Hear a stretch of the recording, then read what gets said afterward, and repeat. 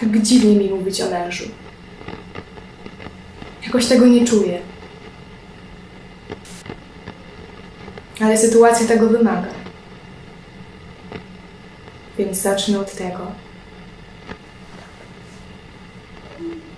że Karol Szwankę urodził się w 1887 roku w Łodzi. W rodzinie polskich ewangelistów pochodzenia niemieckiego. Już we wczesnej młodości ujawnił się u niego patriotyczny zapał. Został relegowany ze szkoły średniej za udział w strajku domagającego się wprowadzenia języka polskiego do szkół.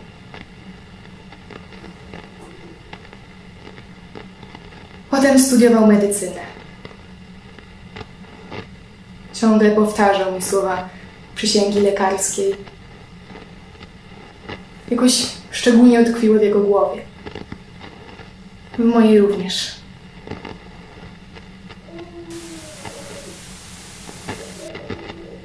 Przysięgam w ciągu swojego życia niczym nie sprawić honoru tego stanu, w który obecnie wstępuję.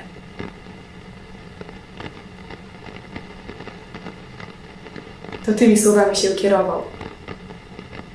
Zawsze i wszędzie.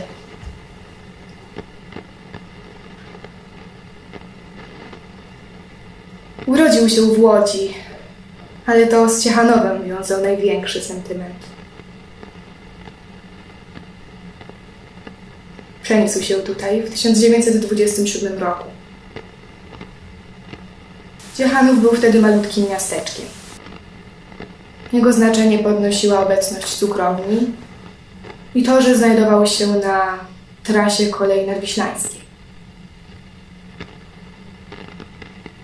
Już po dwóch latach Karol objął stanowisko dyrektora miejskiego szpitala. Placówka znajdowała się już wtedy przy ulicy Płońskiej 32 i 36. Szpital był w stanie pomieścić zaledwie 30 pacjentów. Nie był w zbyt dobrym stanie. Wokół było dosyć brudno i żadnych drzew. Karol mówił, że zastał tu jedynie parę skalpeli, pensetę i inne narzędzia.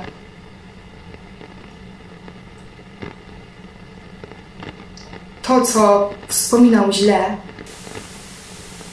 to walka ze znachorami, innymi ludźmi, bez żadnych kwalifikacji do leczenia ludzi, pacjentów.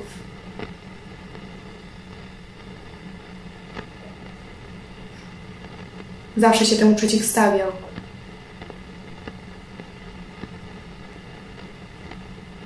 Największą próbą dla niego, dla mnie i jego przyjaciół były czasy wojenne. Ciechanów już w ciągu pierwszych dni padł ofiarą bombardowania. Przeniesienia szpitala do Płońska było decyzją, która uratowała wiele ludzkich żyć.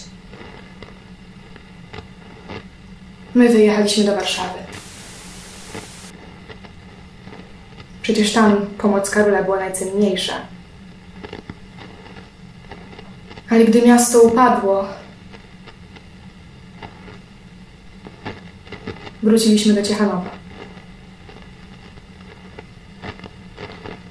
Mój mąż od razu zajął się reanimacją szpitala. Niemieckie pochodzenie okazało się korzystne. Ciechanowska lecznica, jako jedyna na terenach Rzeszy, nie była pod nadzorem okupacyjnym. To jego zasługa. Nie bał się przeciwstawiać niemieckim władzom, ani nawet ich pouczać. Budziło to w nich ogromną wściekłość. Tak było chociażby w przypadku okropnej zbrodni w lesie Ścisłowskim. Niemcy zamordowali tam od 900 do 3000 kalek.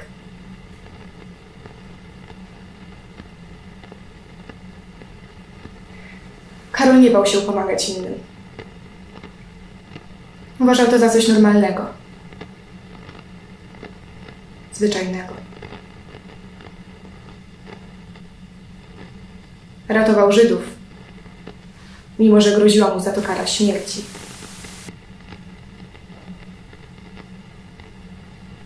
Jak strasznie się o niego bałam. Martwiłam. Ale on był dzielny, więc wspierałam go jak tylko mogłam.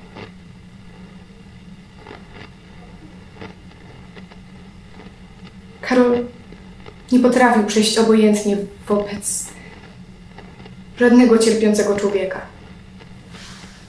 Zawsze dobro innych stawiał nad własnym. Czyż nie jest to wspaniałe?